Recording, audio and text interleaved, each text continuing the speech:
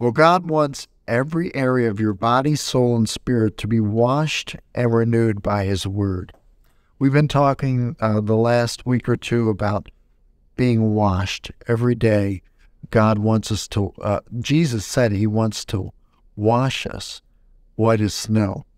And He wants, a, He's coming for a church without spot or wrinkle.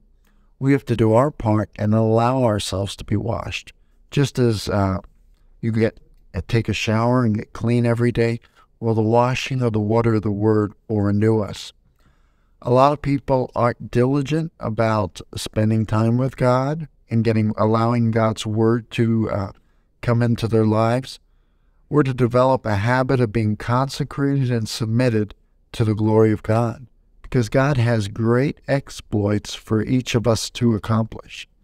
And it's His desire that we would spend time in intimacy with Him and invest time. You know, we go about our lives saving money, uh, you know, working for money, trading our time. Everything you do in life is a trade. And God wants us to trade with Him. He wants us to spend our first time with Him our best time with Him and to put Him first and not be a lover of money. You know, money's not the root of all evil, but the love of money is. Amen. Money is just a tool. Jesus used money even in his ministry to pay taxes or what have you. So we invest in his kingdom. Well, really, we do that by first investing in ourselves and by properly valuing ourselves. The enemy loves to put on people that they're worthless, they're weak, and they're, that God won't use them. So, your talents, your energy, and your time, value those things and be an excellent steward of all that God has given you and has entrusted you with. Cooperate with God's plan for your life. It's up to you to jumpstart and energize every area of your life to its maximum ability. Every decision that you make decides your destiny. So think of yourself every day you're in a fork in the road. Every decision that you're at, one road goes one way, the other road goes another. And that's why we need to be so plugged into the Holy Spirit so that we know which road to take.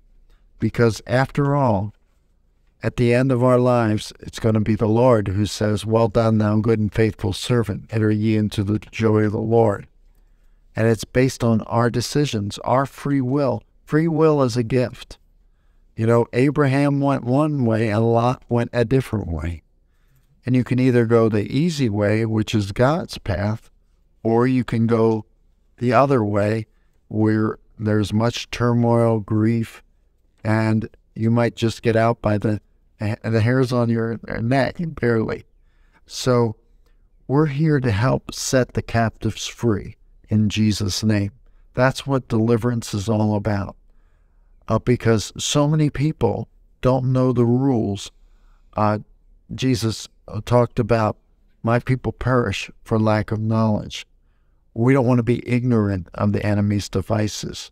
And that's what we're here today with the help of the Lord to share with you so that you know how the enemy works, but more importantly, how you can have the victory through God and through the Word of God and through the power and the Spirit of God. Amen? Because God wants our relationship with Him to be restored. That's why He sent Jesus to restore us back to the Father.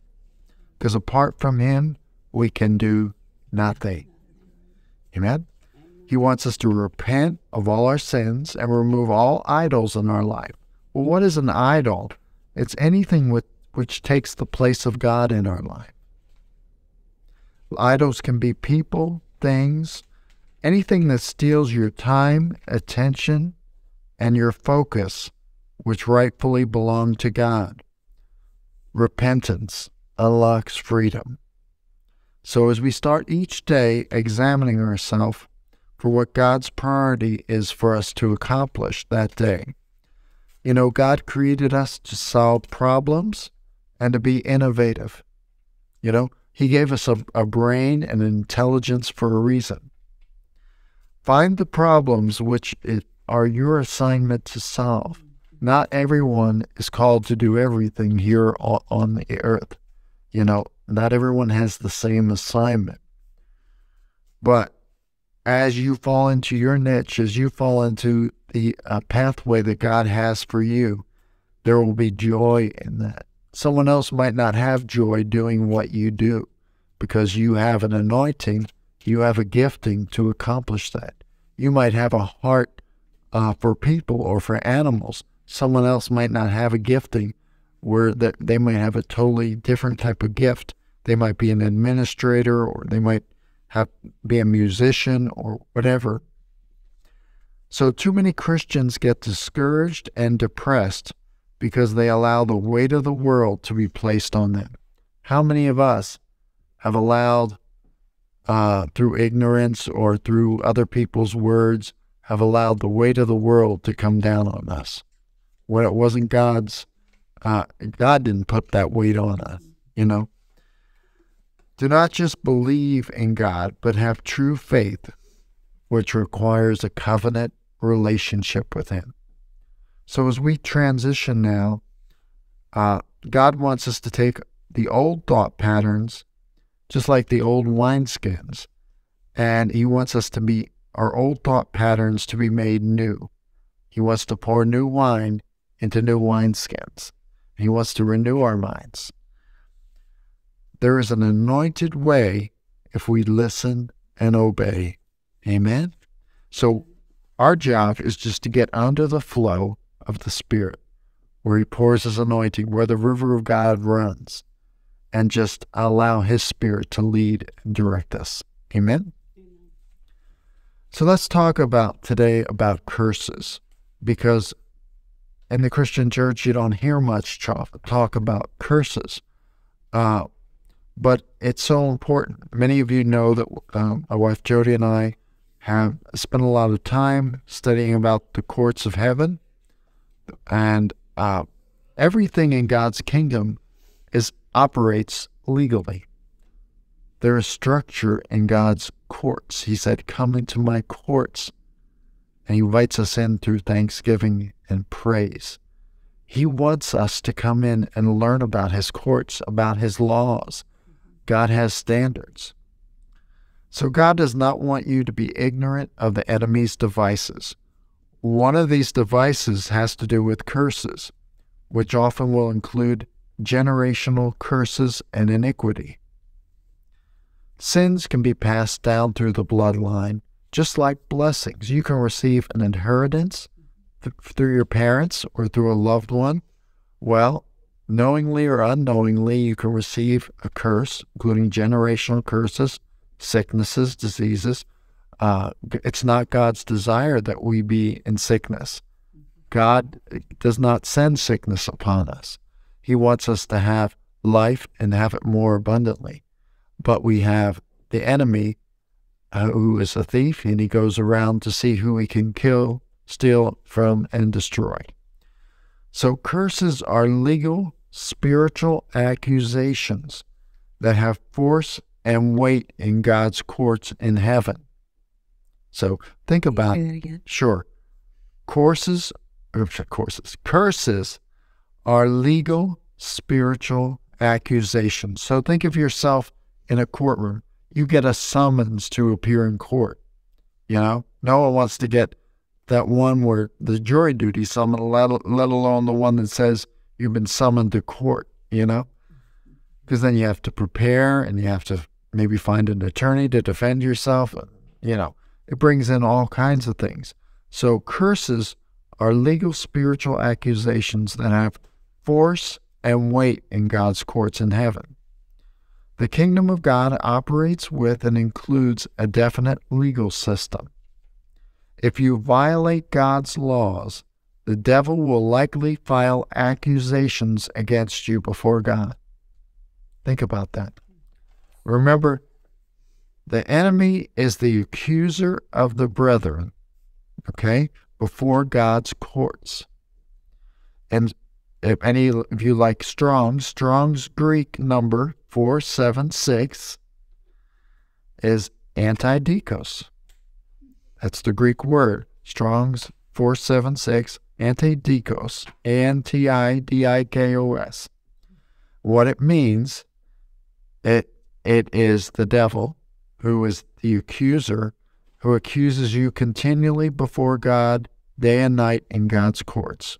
He is your opponent or adversary in the court of law before God, making allegations against you by filing the accusations of formal charges against you in God's court. So he knows how God's court works, and he looks for any legal loophole to accuse you with.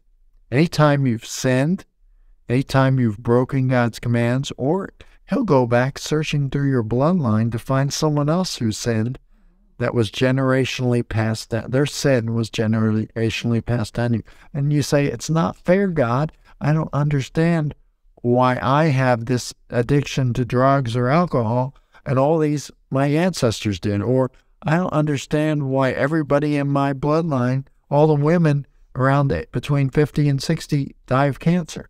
You know, what is it? It's a curse. Okay?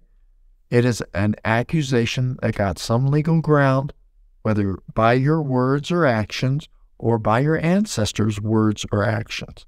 They made a covenant that the devil is trying to enforce and accuse you. That's why he's called the accuser. Okay? Because it's all a legal thing. And he knows the law and he's going to work it against you. That's why the Bible says, My people perish for lack of knowledge. Most people don't know how to go and represent themselves in the courts. And Jesus is there as our advocate in the courts. If we'll only go and ask him for help. Can I read the scripture here? Uh, not right now, thank you. No. Um, he is, so I said, uh, he is our opponent and he, what he's doing is he's filed formal charges against you in God's court, seeking binding damages or penalties against you. When someone goes to court, they want a judgment, right? They want to get a verdict against you. So his ultimate desire is your eternal damnation. That's what the devil wants. He wants you to be so sinful that you've separated yourself from God, you've rebelled against God, and He wants that to be your, your final verdict. He wants the wages of sin, uh, of death, to come upon you. The devil, which is strong Greek 1228, if you're interested in Strong's Greek numbers, 1228, which is the word diabolos, D I A B O L O S, and we are not lifting up the devil here, but we don't want to be ignorant of the enemy or of how he operates. That's why it's we need to be wise as doves. Okay? Listen. The devil, or diabolos in Greek, is a slanderer. And write this word down because I didn't know it. He's a traducer. T R A D U C E R. Okay? That's a legal term. Uh, you can look it up in the dictionary. And I never heard of that. I knew it was a slanderer. The word diabolos means slanderer, and it got translated to Satan, but really originally it meant slanderer. So, what who is what is what is what is it when you slander someone? It's you bring an accusation. Mm-hmm. Now the devil will also bring false accusations. You know, so we need to be on watch for false accusations because he doesn't play fair. And you know, you can take anybody to court. You can accuse anyone of anything and drag them to court, right? Whether it's true or false. It's the judge's job to separate the truth from the false, if you get a good judge, that is. You know, but thank God that God, our Father, is the just judge. So think about it the game is rigged in our favor. We have a judge who is our Heavenly Father, and we have our attorney, who's Jesus Christ, who's our eldest brother, and he represents us if we'll listen to him. And we have the Holy Spirit, plus we have uh, the, we have a, a cloud of witnesses of people that have gone before who can testify. There are many people that can, and uh, they can come into the courts of heaven to testify on our behalf. And the devil doesn't want us to know our rights, and he doesn't want us to know how to operate against these curses or these accusations. So, our job is to not give him any legal right to accuse him with, because he's already going to bring up other stuff. But if you give him legal rights, uh, then he can say, look what they did, or look what their ancestors did. Okay? That's why we have to guard our tongue, because many people uh, institute word curses against them. Have you ever heard someone say, I wish I was dead? Or, uh, I don't believe God can heal today. That's a word curse because you have just cut yourself off from the, you know, God and His supernatural might heal you, but you've just given the enemy a, a, a, an accusation to block you. Look, this person doesn't even believe healing is for today. They're uh, they're a cessationalist. They believe it all died with the apostles. You know, for the spirit, uh, the gifts of the spirit are for today. You can shut yourself down with your word, with your words. So, we're to resist the devil, steadfast in the faith, so he'll flee. Isn't that what we're called to do? To resist the devil? Well, the way you resist him is legally. Okay? I bet you never thought about that. You overcome the devil's accusations. This is very powerful. I had never gotten this revelation before the other day. You overcome the devil's accusations in God's courts on account of applying the blood of the Lamb. So you have to account of applying the blood of the Lamb and on account of the word of your testimony. Isn't that what the scripture says? We overcome the devil by the blood of the Lamb and the word of our testimony. But there's something else tied to that. Even when faced with a death sentence, do not waver in your faith to save your own life. So he said, unto death, we can't be afraid. Don't love your life, you know? Because the devil will try to scare you. He'll try to see to see if you know people are one thing and can talk. Uh, they can talk a good game, but when their life they feel their life is threatened, they can change their story pretty quick, or they can waver in their faith pretty fast.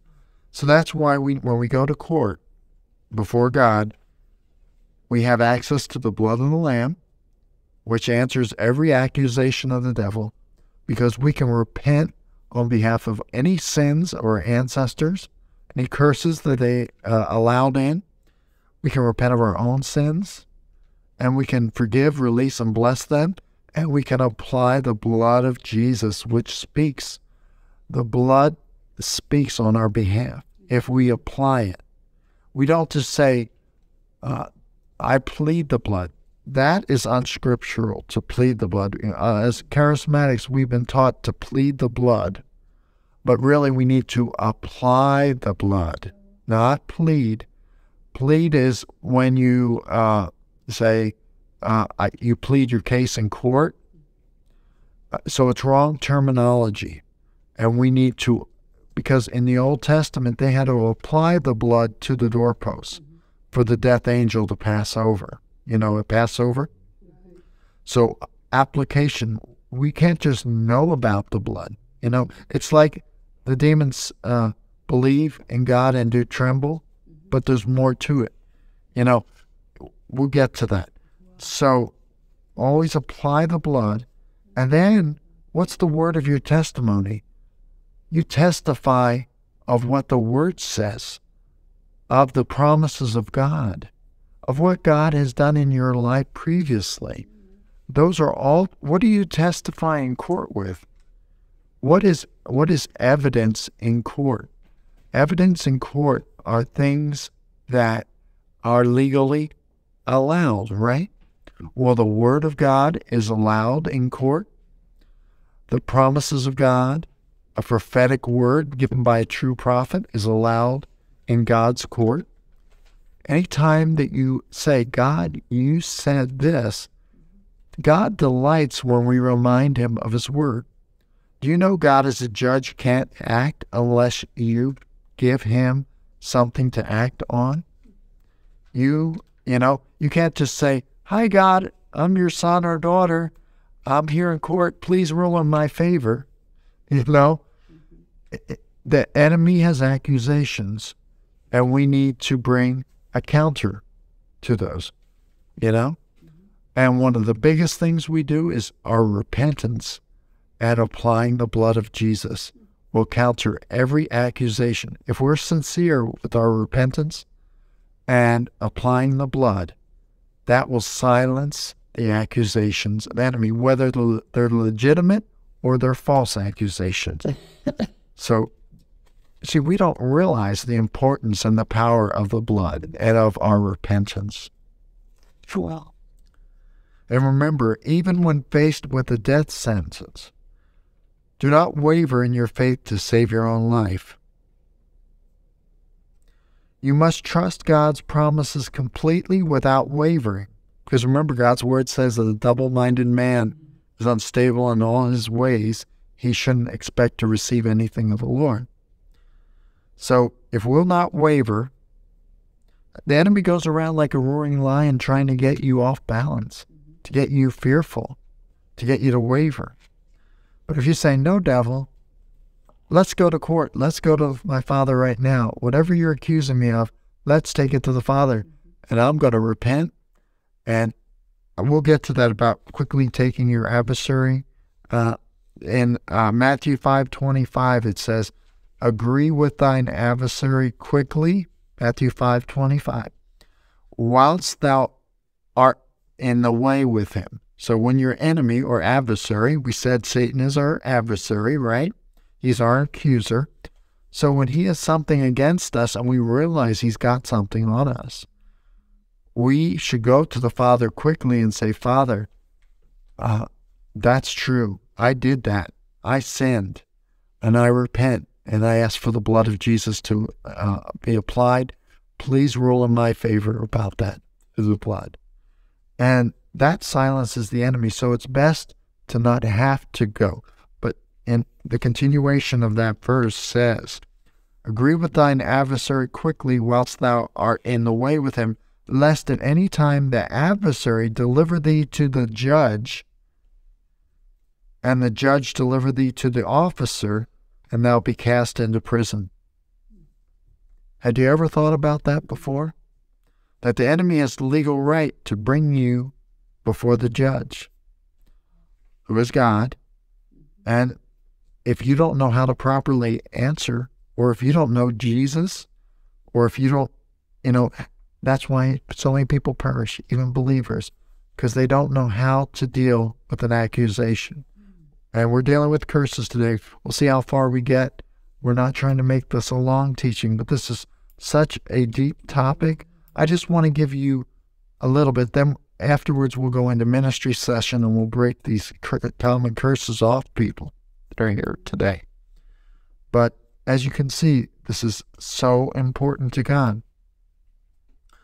Also, it says in 1 Peter 5 8 and 9, be sober, be vigilant, because your adversary, again, the word adversary, that's talking about, that's a legal term. It's your adversary in the court of law. Because your adversary, the devil, as a roaring lion, walketh about seeking whom he may devour. And then it says, whom resist steadfast in the faith. So that's how we deal with the devil when he accuses us. We need to stand strong. Again, what we said at the beginning resist the devil and he'll flee. We're being told. This is the I think you should read Okay. so powerful. Thank you, honey. First Peter 5 8 in the Amplified. Our wife would like me to read. It says, Be well balanced, temperate, sober mind, be vigilant, and cautious at all times. For that enemy of yours, the devil, roams around like a lion, roaring in fierce hunger, seeking someone to seize upon and devour. Withstand him, be firm in the faith. Amen. Amen. Jesus paid with his blood to give us all authority. He gave us his authority to overcome all the things of the devil. Mm-hmm. You know, all scorpions, serpents, no matter what the enemy. But we have to deal with this because it's legal. Mm-hmm. You know, one of the ways, and remember, there's a battle over your life and your destiny. The devil doesn't play fair, right? Scriptures talks about the enemy tries to steal, kill, and destroy, and Jesus comes to give you life more abundantly. John ten ten. Okay, hmm. but a curse is real and is not some imaginary thing that you've heard of in a fairy tale. The devil wants you to think that oh, curses are things of witches and so forth, and they can, but they're not. Don't just dismiss curses. The enemy is always seeking to block you from fulfilling your God birth destiny and goes around stealing, killing, and destroying. Mm-hmm. He's looking for a legal right to accuse you with, to put a curse on you, to block you, and sabotage your future and your success. How many of us has our future been sabotaged? Mm-hmm. Or how, how much how many opportunities have we lost out on in life because the devil put fear on us? Or we were accused unfalsely? Mm-hmm. Or because some curse that we weren't even aware of generationally held us back? I know of a lot of people where fear is passed down generationally. Mm-hmm. Or what about a religious spirit being passed down you know, that says, oh, we need to please our parents and we therefore or please our church and we can't we can't uh, you know, there are no such thing as curses. Our church doesn't teach that. Well, I'm sorry, but the word is full of examples of that. So once it's up to you to realize that there is a real battle for your destiny, time, money, attention, loyalty, and focus. You will either permit the enemy to steal from you, or you will take steps to keep the enemy from stealing from you so that you can walk in God's abundance. Never let the enemy steal your peace or joy, which are promised blessings from God. Mm. Because the enemy will try to steal your peace and joy. Look for the source of the curse to dissolve and disarm it. That's why we need to ask for the seer gifts, the prophetic gifts, the seer gifts, because it's real helpful if you need to go through deliverance, if you can't see in the spirit yourself, uh, that you can find yourself people that are seers and have giftings in that ability, because they can see where that curse first entered your life. They can see when in your life and see what in your life. They'll say, and a lot of times, fears and curses come in through trauma and a molestation, a yelling, you know, un, un, uh, you know, betrayal by parents or people in positions of authority uh, can put a curse on us. Or word curses. Your parents could have yelled and said, Mine did. My father said I'd be good for nothing. He hated me. I'd never amount to anything. Uh, you know, I was a reject. And, you know, all these things. And when you have a parent uh, doing that, you know, the devil loves it, especially when a father uh, accuses his sons. It takes the masculinity out of the son. It makes them feel inferior. I felt abandonment, rejection from my father, and that carried through my life. And it took many, many years and decades to get to a point where God could set me free because I didn't know how to get free. I thought I was just a bad person. I thought I was the cause of my parents getting a divorce when they were 13. You know, kids always seem to blame themselves for their parents' mm-hmm. divorce. I don't know why. But, you know, whatever it is that you have on you, whatever curse or accusation or allegation that the devil put on you, you know, a lot of people think it's their fault. They were were molested or mistreated. You know, the devil lies. Mm-hmm. But God wants to set us free tonight of every accusation. Why would God want you to confess the sins of your father or mother? You know, because He wants you to be free. And now that we know it's a legal thing, curses go down to the third or fourth generation. That's what the Bible says. Okay? God keeps mercy for thousands, forgiving iniquity and transgression and sin. And He loves us so much, He wants us to be free.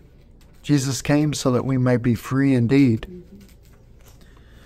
But these patterns of sin that get passed down are generational curses. They run, run through bloodlines. You know, even look at Exodus 25 and 6. God warned the children of Israel not to follow false gods, right? Mm-hmm. Saying, You shall not bow down to them nor serve them, for I, the Lord thy God, uh, your God, am a jealous God, visiting the iniquity of the fathers upon the children to the third and fourth generations of those who hate me, but showing mercy to thousands to those who love me and keep my commandments. So the iniquity of the parents is carried down to the children to the third and fourth generation. That's Exodus 34 7. So now that we know that, our God, you could, and I've heard people say that, well, that's not fair. God would never do that, you know? But God must, He put His word above His name, right? Mm-hmm. Yes. Is that correct? Yes. So He must keep His word. Mm-hmm. And if He set certain legal systems in place, mm-hmm. God will never violate His word. And one of those legal systems is this if you break that law, you shall not bow down to other gods or serve them. You know, just because it's Old Testament doesn't mean it's passed away. You know? And the devil will look at any commandment, any instruction that God gave in the Word to accuse you with if you break it, or your ancestors break it.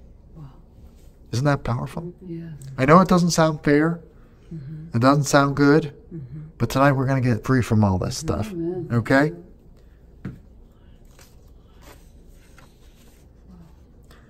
There, there are things that set up generational curses that the devil used. Like, cursed is anyone who makes an idol, a thing detestable to the Lord, and sets it up in secret. Cursed is anyone who dishonors their father or mother. How many people how, have you ever dishonored your father or mother? Do you think the devil would use that accusation against you in the courts? You know? Cursed is anyone that does the uh, the work of the Lord deceitfully. Jeremiah 48:10.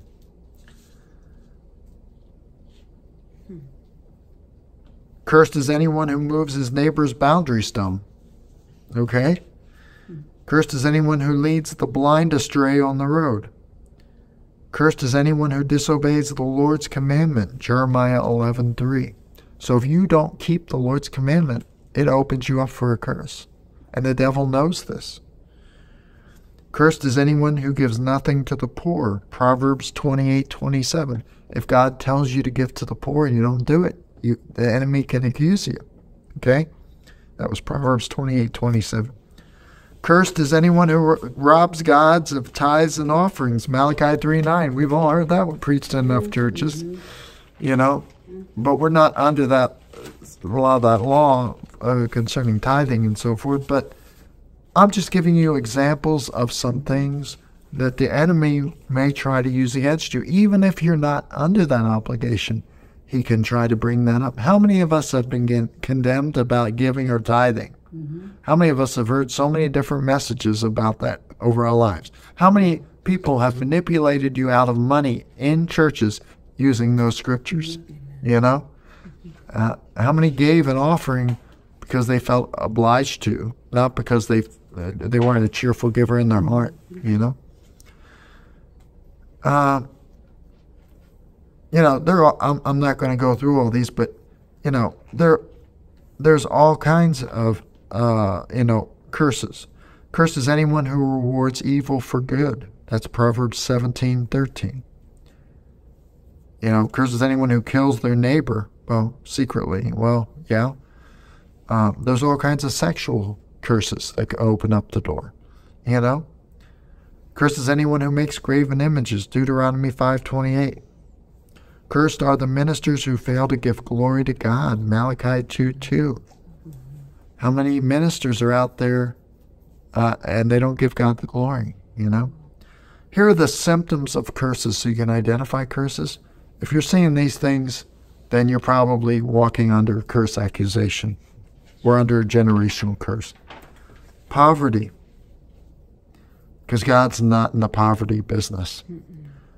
Alcoholism, heredity diseases, drug addiction. If I'm going too fast, let me know.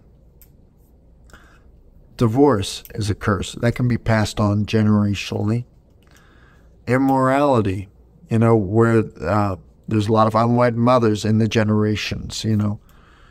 Um, child abuse can be generational, a generational curse passed down.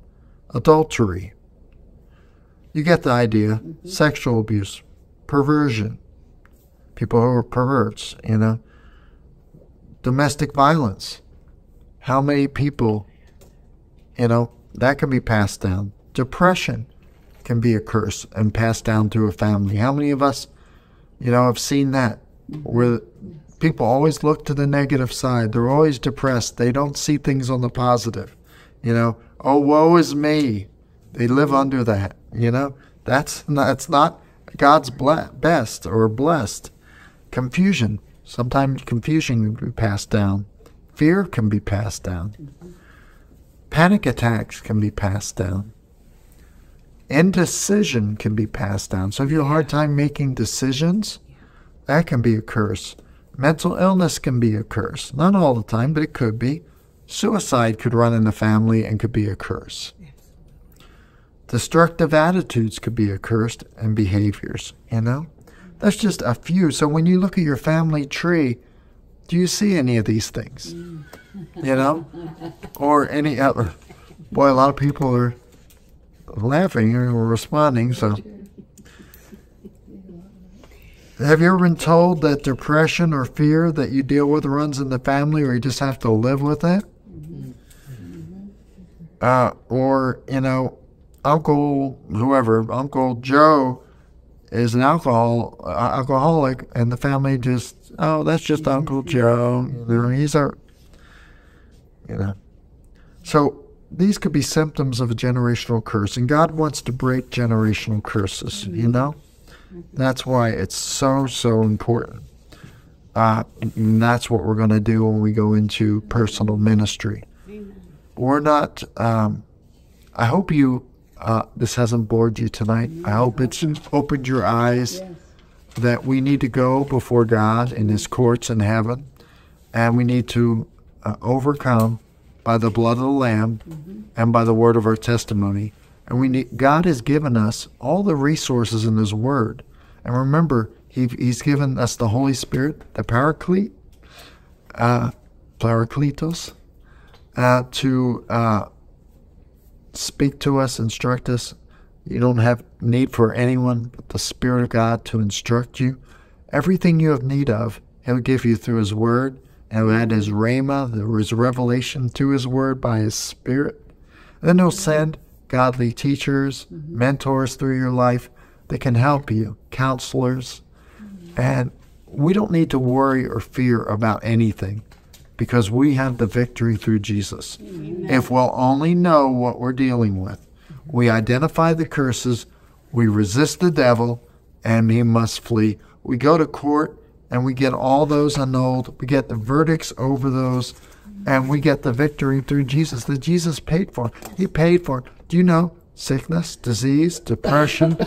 Uh, uh, uh, you know, when you're oppressed and you need deliverance, a lot of times deliverance is necessary before you can get your healing because uh, you're in bondage and you don't know it and you try to get free from healing but actually the demonic oppression and, and the generational curses are, are actually preventing your healing so when you when you get that's why Joan Hunter talks about this uh, when you get deal with your uh, curses first. She, the first thing she deals with when we see her is trauma, dealing with trauma. Mm-hmm. Get rid of old generational trauma that's, you know, okay, you got that pain in your uh, your side or in your knee. Uh, when did that start? Six years ago? What happened to you six years ago? What trauma entered your life then? Mm-hmm. And then, sure enough, that was the entrance to that sickness or disease. Mm-hmm.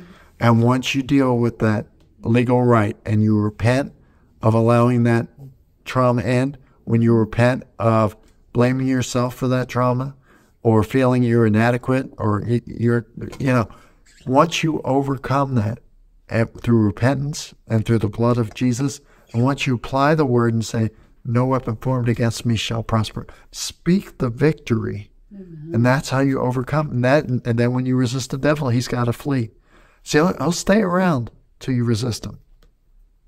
And a lot of people are in bondage because they haven't properly known that they're under curse or under an accusation, and they didn't know that they could resist the devil. But once we now now, we're now not ignorant of the enemy's devices anymore, mm-hmm. And we can have a full victory. Mm-hmm. So, God bless you for this, uh, for listening to this, and now we're going to demonstrate it in Jesus' name. Thank you, Lord.